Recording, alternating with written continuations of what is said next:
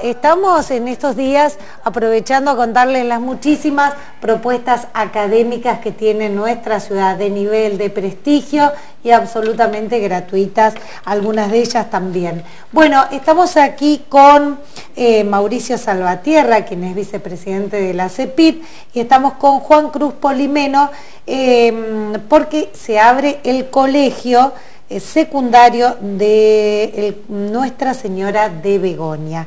¿Cómo están chicos? Bienvenidos.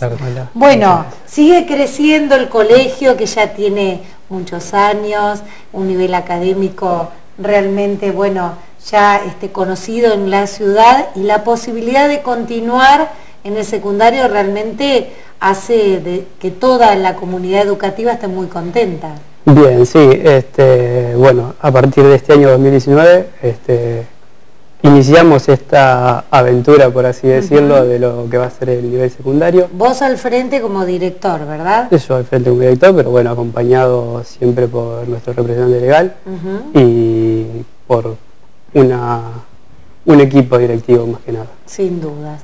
Y bueno, este secundario que va a tener qué horarios, en, qué turno va a funcionar. El colegio secundario va a funcionar el turno de mañana, de 7 y 20 a 1, ¿sí?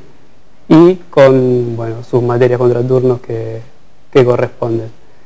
Em, y además le han dado una modalidad muy interesante y por eso lo tenemos a Mauricio. Exacto. Mauricio en todos lados.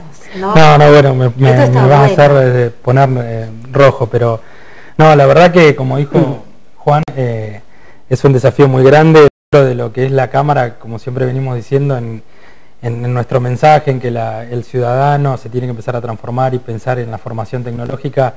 La verdad encontramos en el equipo, en la comunidad de Begonia, algo eh, increíble y súper abierto, que es eh, tratar de empezar a establecer un formato educativo con base tecnológica. Que e, esto que hablamos siempre, ¿no? Es lo que se viene, preparar los chicos para el futuro, para el trabajo que se va a necesitar. Se van a cerrar muchas fuentes de trabajo que van a estar este, suplidas por, la tecnología, pero se necesitan otras manos de obra, ¿verdad? Sí, la verdad que muchos decimos lo que se viene, yo creo que es lo que ya está. y bueno, entonces... Eh, qué mejor que poder aportarle a, nuestra comunidad esto, esto que es la tecnología. ¿Eso va a tener la orientación? ¿Cómo se va a llamar? Bien, la orientación definida aún no la tenemos, pero eh, sería una orientación en ciencias tecnológicas, o sea, abarcativamente. Que ya hemos hablado varias veces con Mauricio, esto de que la salida laboral es inmediata, ¿no? Sí, las necesidades de, la industria siguen estando, cada vez se incrementan más.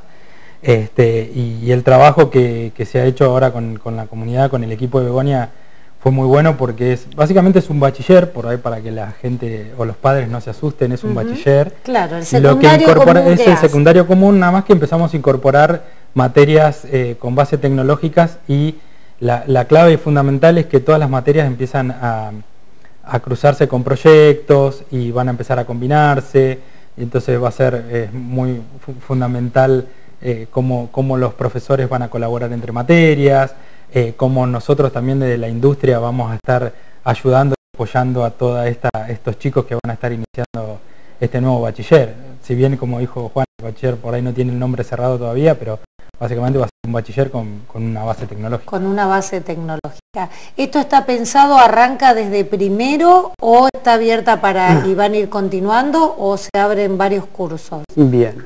Eh, desde lo que a nosotros nos eh, pide el nivel, ¿sí? Eh, la orientación es cuando se hace la distribución, o sea, cuando, cuando nosotros continuamos con el secundario superior.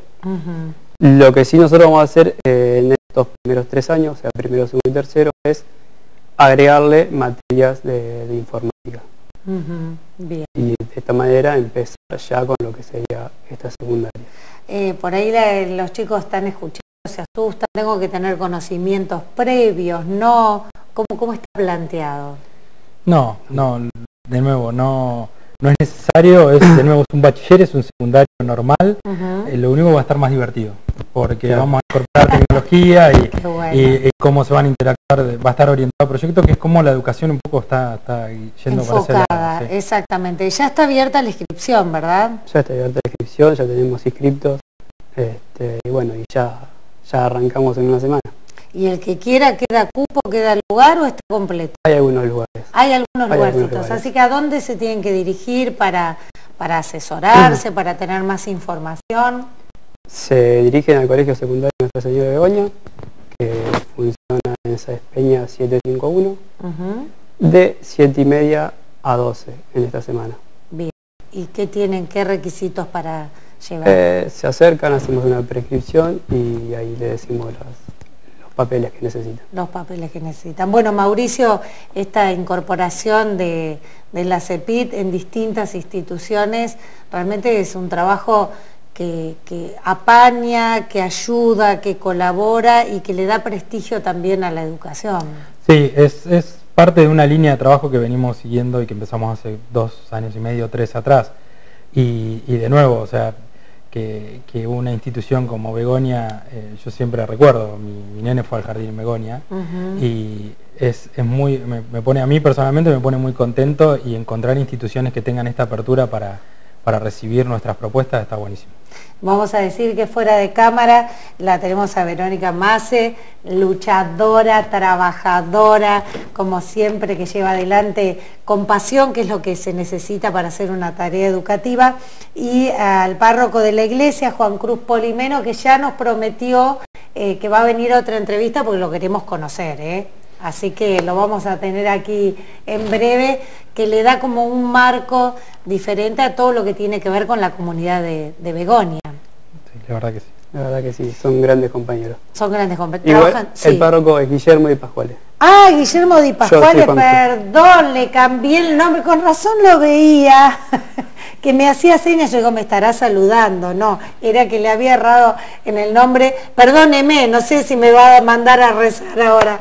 Bueno, ya lo convocamos a Guillermo Di Pascuale este, para que esté aquí en la ciudad y poder charlar, bueno, en una comunidad que tiene una gran fe y que trabaja mucho siempre en todos los ámbitos y la tarea educativa no es la excepción. Chicos, recordamos si te parece la inscripción. inscripción de lunes a viernes, de 7 y media a 12 del mediodía, en el Colegio Nuestra Señora de Begoña, San Peña 751. Ahí está. Bueno, pasen, ¿eh? desen una vueltita, chicos, les agradezco esta visita. Estuvimos charlando con Mauricio Salvatierra y Juan Cruz Polimeno. Bueno, se abre el secundario allí en Begonia, así que con esta orientación tecnológica que realmente es muy, muy importante para nuestra ciudad.